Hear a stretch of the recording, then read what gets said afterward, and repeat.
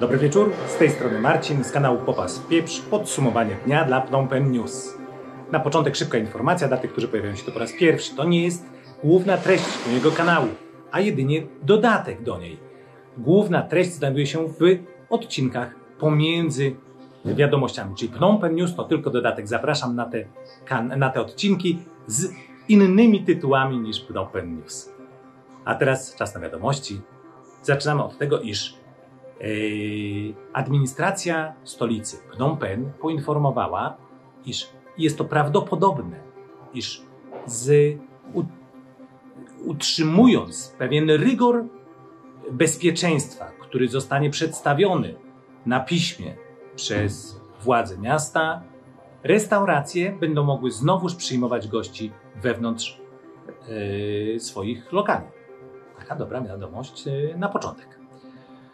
A teraz wiadomość troszkę nieco zaskakująca być może, a mianowicie nauczyciel szkoły podstawowej został wczoraj skazany przez sąd na karę więzienia za wyłudzenie oraz zdefraudowanie od swoich kolegów ze szkoły 140 tysięcy dolarów. Łatwowierność to jedno, ale skąd oni mają taki hajs? Ile tu się zarabia w szkołach?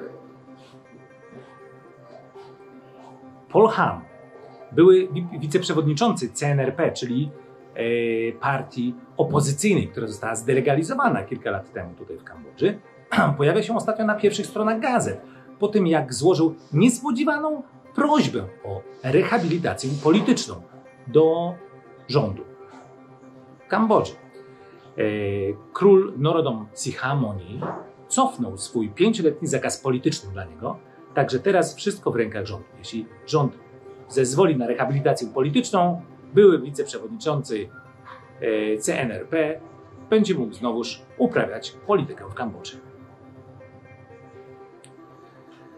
Mężczyzna został aresztowany wczoraj w stolicy za złamanie zakazu posiadania i handlu narkotykami. Miał ukryte przy sobie 4 kg amfetaminy.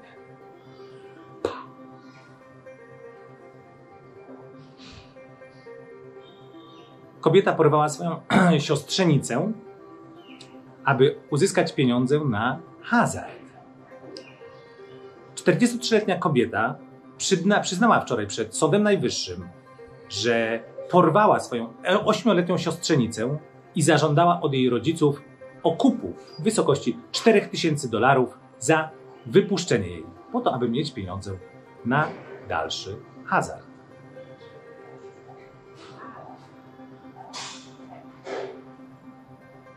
Nie mam komentarza do tego.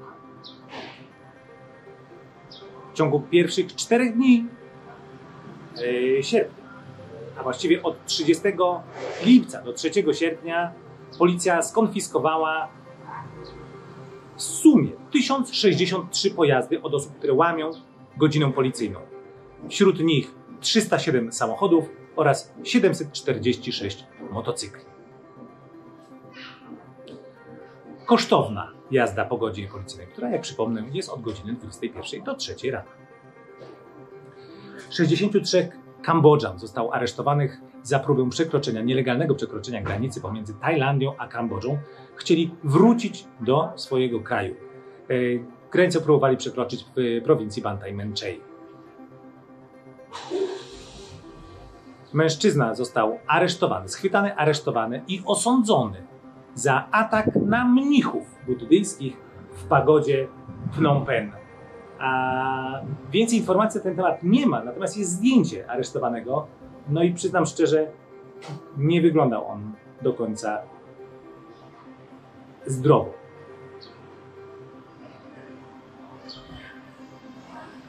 To wszystko, jeżeli chodzi o dzisiejsze podsumowanie dnia. Czas na wiadomości sportowe. A tutaj informacja, iż Wisaka FC, klub ze stolicy, czyli właśnie z Phnom Penh, wygrał w dniu wczorajszym e, 3 do 2 mecz przeciwko Prey dzięki czemu trafił wreszcie na pierwsze miejsce kambodżańskiej ligi.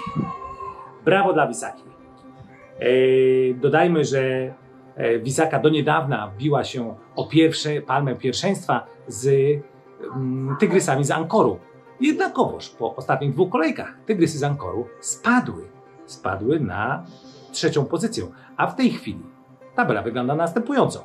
Pierwsze miejsce Wisaka FC z Phnom Penh z 22 punktami.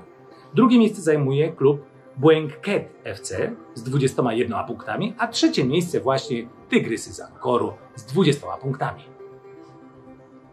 To wszystko, jeśli chodzi o wiadomości sportowe. Czas na prognozę pogody. A tutaj informacja.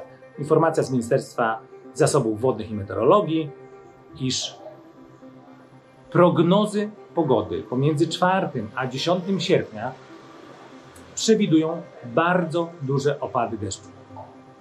Jak na razie deszczu nie ma, jest bardzo gorąco, czyli niezmiennie tak samo. To wszystko, jeżeli chodzi o dzisiejsze podsumowanie dnia, dzisiejsze wiadomości.